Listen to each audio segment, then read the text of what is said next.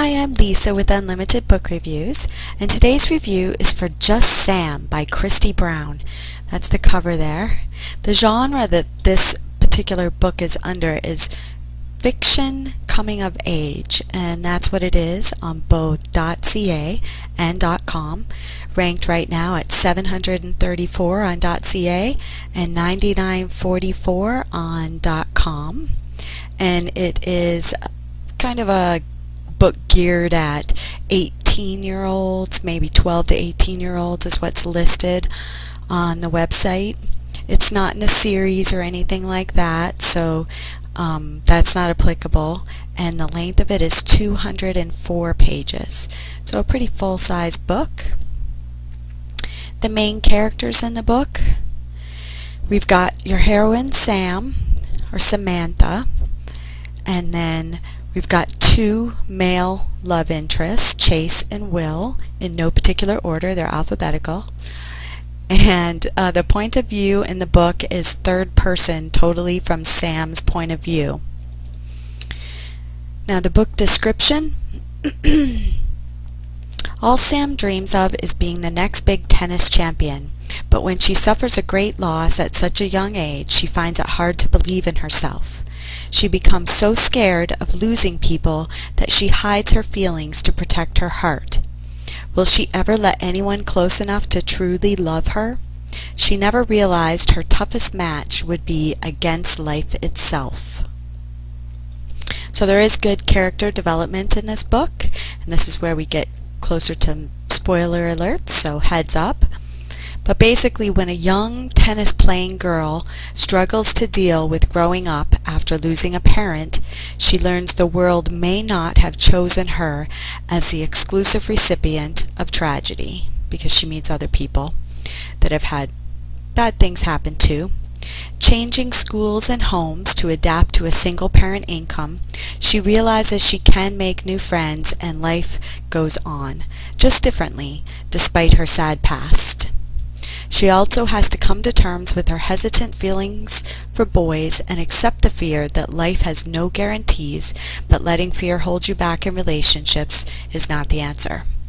So it is, um, a lot of the book is centered, it has some back stuff, but it's right around her 16th birthday.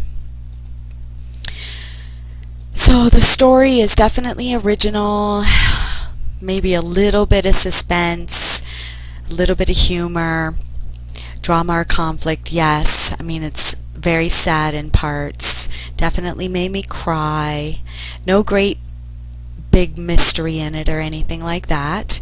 And um, lots of emotional action, but I don't know necessarily any major physical act action. So it's considered a coming of age um, genre. So the tragedy happens right off the hop at the beginning of the book and she starts having transitions in her life right around 7%. And then a pivotal turning point happens right around 61% in the book where she kind of accepts things as they are and some big decisions happen right at the end of the book. So it was nice. No weirdness or darkness, happily ever after, pretty much. Yeah and the writing was done by Kristy Brown in a very easy to read, written in third person book style. There were a few little typos, but nothing major, no major inconsistencies. Um, you aren't left hanging at the end. There's no sequel that we're pending. Uh, looks like Kristy right now has about six books out, but this looks like the only one right now that is in Kindle Unlimited. Did I like it? Yeah, it was definitely a very good book. So, um, quotes highlighted by the readers. There weren't any, so I picked some of my favorites. Sam, life sometimes throws us some crappy balls, but it's whether you return them with strength or let the ball hit you in the face that's what really counts. Mr. Toddley. For a moment, I thought they might cock their legs up and pee on me, marking their territory forever. That was Sam. Never heard that one before. That's a good one. Then it dawned on me I needed a distraction to distract me from my distraction. Haven't heard that in a while. And then the reviews, there's only two right now, two reviews on Amazon.com.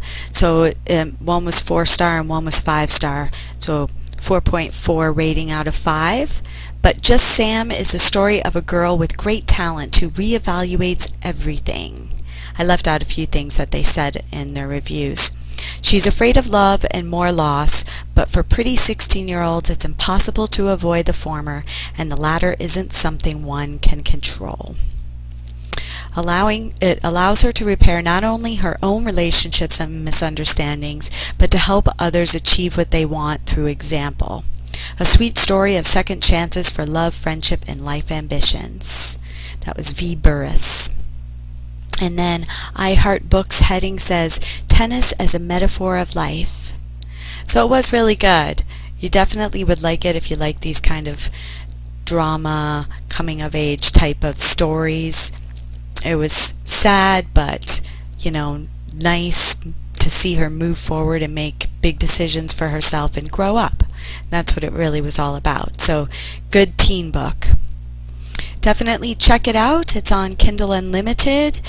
Um, click subscribe, please, and like my video here. And thanks so much for stopping by.